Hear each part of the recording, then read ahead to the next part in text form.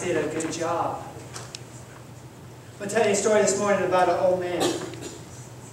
When I was a kid, well, when you're children, old men could be, you know, yeah. No, he was probably in his uh, early 60s, early mid 60s. Well, I, I was probably nine, but he lived in his house, and, and he didn't cut his grass, and he didn't pick up any of the garbage outside. And so at first we didn't think anybody lived in it. And then all my friends told me that house was haunted, and not to go near that house. But every once in a while you would see him come out. Um, like I said, he was probably in his early 60s, but he looked like he was 80s. saying? He didn't talk to nobody, and he wasn't a nice man. Well, for us little kids, he didn't seem to be like a nice man, because if he was outside and we came too close to his front fence, he would yell at us to get away from his property. Okay? And I always wondered why he was so grumpy. Um, no, I'm going to tell you why. Okay? So I always wondered why he was grumpy. And, you know, being little kids and being inquisitive, I used to go to his fence just to see if I could make him yell at me. so I wanted to see him because all the other kids used to tell me all kind of strange things about this man. So one day, I saw him outside, and he was in his front yard, so I ran over there to his fence. And he turned around and yelled at me, and I didn't move. He told me get away from his yard, get away from his property. And I was trying to get up the courage to ask him why he was so mean. But I couldn't figure out a way to say it that sounded nice. But, being a kid, I got my courage up and I asked him, I said, Sir, why don't you like us? He goes, Like who? I go, Us, little kids.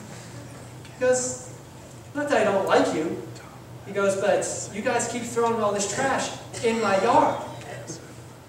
Which is why he wouldn't pick it up. And I told him, I said, Sir, I, I, I don't throw any trash in your yard. And I was just wanting to talk to you because all the other little kids say you're mean. And uh, he, he kind of looked at me and, you know, little kids say what's on their mind. And I told him. And he goes, well, he goes, I like kids. I like quiet kids. I like kids that don't come near my fence. And I go, sir, I'm not a quiet kid because my mommy tells me that I'm not quiet at all. But I like old people, and I was wondering if, if you want to be friends. And he looked at me, and he just looked at me, he looked at me. He goes, why do you want to be my friend? I go, well, maybe you'll stop yelling at me. That's one of the reasons. But I asked, I said, do you have any children? And I could see his eyes start to well. And he didn't say nothing for what seemed like forever. Like five years. Yeah, that's what it seemed like. Then he looked and he goes, he goes, well, he goes, I, I had a son. And he goes, I love my son. And I asked him, I said, well, what happened to your son? Is he, is he around here? Does he live around here? Now, this was back in the 1960s, so you guys remember what was taking place in the 1960s? Okay. So he told me, he goes, his son died in the war. And he goes, him and his wife. Now, one of the things you got to watch out for, because when you start to ask people about what bothers them, if they actually open up to you, they may really open up to you.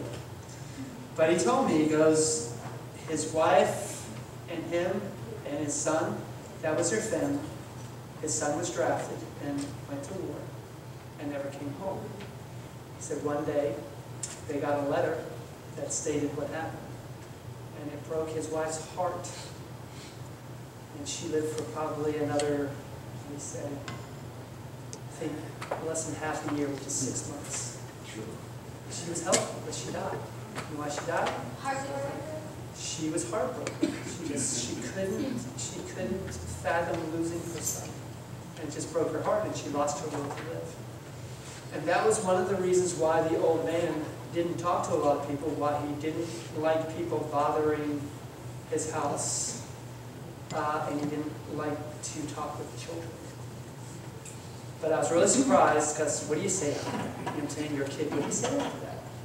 So I just looked at him and, and I said, Sir, I'm really sorry, but I would really like to be your friend. And again, he looked at me and he just shook his head. And I thought he was going to turn around and walk in his house. But he looked at me, and he says, Will you come back and talk to me tomorrow? I said, Yes. But I asked him, You going to yell at me if I come up to the fence? He goes, No. I go, Well, listen, if you don't yell at me, I'll come up and I'll talk to you. I said, Can I bring my friends? He goes, No, I don't, I'll, I'll talk to you.